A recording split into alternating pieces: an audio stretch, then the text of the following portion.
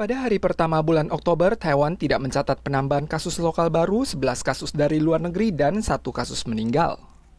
Sejumlah peraturan akan diterapkan menjelang bulan Oktober meliputi vaksin influenza, 4 jenis vaksin COVID-19, total 5 macam vaksin. Sebanyak 6,32 juta dosis vaksin flu akan disediakan secara cuma-cuma dan akan dibagi menjadi dua tahap penyuntikan. Tahap pertama akan dimulai per 1 Oktober ini. Taipei dan kota New Taipei akan membuka sarana bermain anak-anak dalam taman untuk digunakan warga dengan catatan tetap mematuhi protokol pandemi.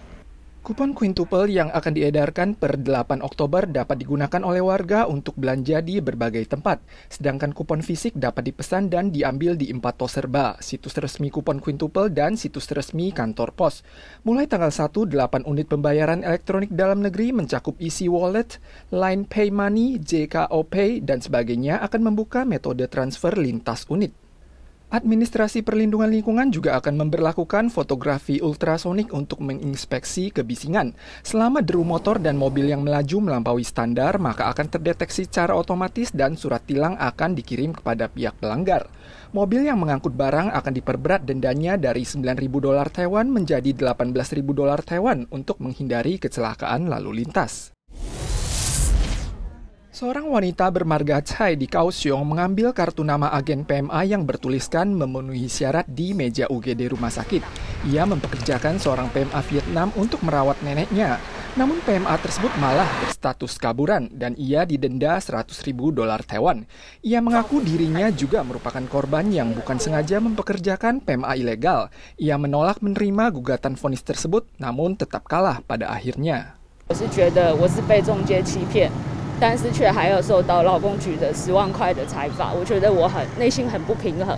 Karena situasi mendesak, Nona Chai lupa memeriksa biodata PMA dan percaya sepenuhnya pada pihak agen. Namun ia tetap dinyatakan mempekerjakan PMA secara ilegal. Walau sedih dan kecewa, ia memutuskan untuk tidak lagi mengajukan banding.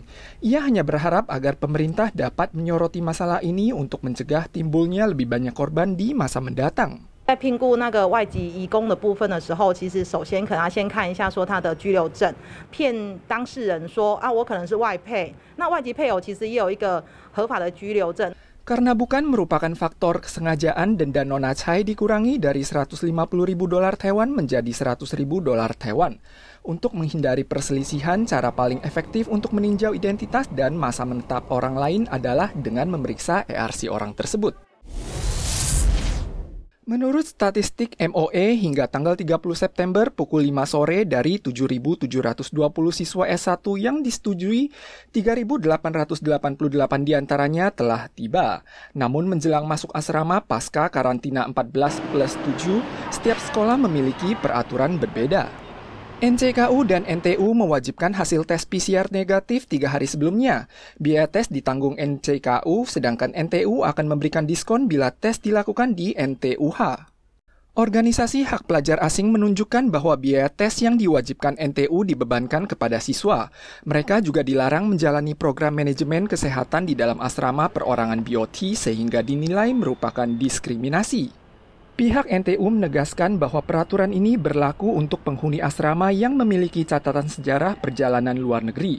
Demikian halnya juga untuk siswa lokal. MOE menyampaikan pihaknya menghormati mekanisme tegas yang diadopsi perguruan tinggi sebagai upaya pencegahan pandemi. Lukisan baru kembali menghiasi sawah pelangi di Desa Yuen di Kabupaten Miauli. Tiga sosok dewa dan maskot walet kecil yang memegang jarum suntik muncul di tengah sawah tersebut. Ini adalah karya terbaru KUD Yuanli yang menggunakan lima macam bibit berwarna untuk menganyam pola sosok tiga dewa dan gambar Taiwan Fighting sebagai simbol agar pandemi lekas berlalu dan pola kehidupan dapat kembali normal seperti sedia kala. Disampaikan oleh pihak KUD, bibit ditanam pada bulan Agustus, dan saat ini adalah masa terbaik untuk menikmati lukisan dan diperkirakan dapat berlangsung hingga akhir November. Seiring langkah pencegahan pandemi, pengunjung setiap kali dibatasi 10 orang, dan pengunjung diharapkan dapat mematuhi peraturan secara seksama.